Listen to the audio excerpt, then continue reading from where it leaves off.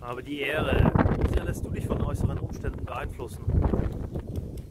Wenn du morgens aufstehst und siehst, dass es windig ist, dass es schneit oder dass das Wetter vielleicht nicht so ist, wie du es dir erwartet hast, weil der Wetterbericht mal wieder falsch lag, dann kann es vorkommen, dass du dich vielleicht nicht an deine Pläne hältst und einfach dich treiben lässt und dich von dem Wetter ja, runterziehen lässt, wenn es nicht gut ist, oder beziehungsweise lässt du dich beeinflussen, wenn es schön ist. Das ist eigentlich noch schlimmer, wenn die Sonne scheint. Du sagst dir, oh, heute keine Lust auf ähm, Arbeiten, heute keine Lust auf am Computer sitzen, am Schreibtisch sitzen und Dinge weitermachen, die ich, die ich mir eigentlich vorgenommen hatte, oder sich an seine Disziplin zu halten. Ähm, ja, dann liegt es vielleicht auch daran, an deinem Umfeld. Das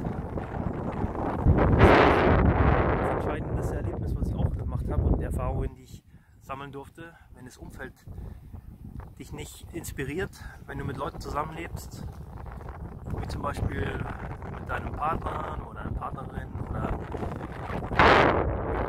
die Menschen, die nicht so ambitioniert sind oder keine Ziele haben und nichts einplanen, die einfach so in den Tag reinleben und so nach Lust und Laune ihr, ihr, ihr Tagesgeschehen gestalten nicht wirklich ein diszipliniertes Vorgehen haben, dann ist es ganz normal, dass es, dass es dir leicht fällt, dich davon beeinflussen zu lassen und dich auch ablenken zu lassen.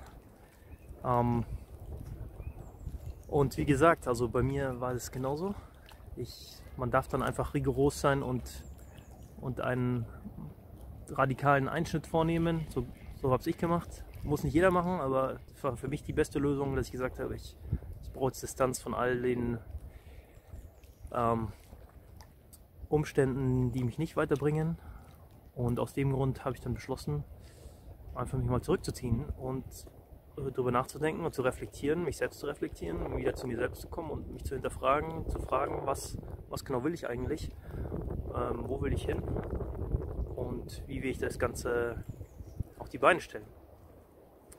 Äh, dazu ein paar Tipps, ein paar Ratschläge, Hinweise, die dir vielleicht helfen, schneller voranzukommen. Und zwar geht es zum ersten, wie schon gesagt gerade, dass du wieder zu dir kommst, dass du weißt, wer du bist, dass du wieder in deine Mitte kommst. Bei mir ging das so, dass ich das mit Meditation geschafft habe oder auch einfach nur in der Natur zu sein, zur Ruhe zu kommen, nachzudenken, ohne irgendwelche Störfaktoren von außen. Fernsehen, wenig Fernsehen, keine, keinerlei Nachrichten, alles was im Internet so vorging oder in der Welt, was mich nicht direkt betrifft. Habe ich einfach mal abgeschaltet für eine Zeit lang, um wieder zu verstehen, was, was eigentlich ich, was ich eigentlich will. Dann zweitens, ähm, was sind deine Ziele? Wie siehst du dich in der Zukunft?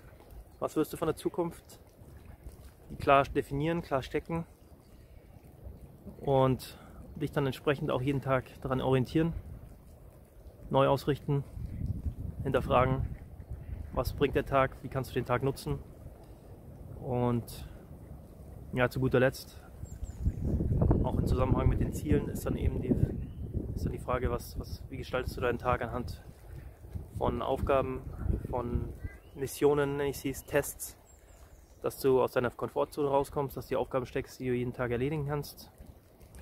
Anfangs nicht zu viele, vielleicht eine pro Tag. Wenn du eine erledigt hast, dann geht es dir meistens so, so habe ich erlebt, dass du dann wieder im Fluss bist und einfach weitermachst.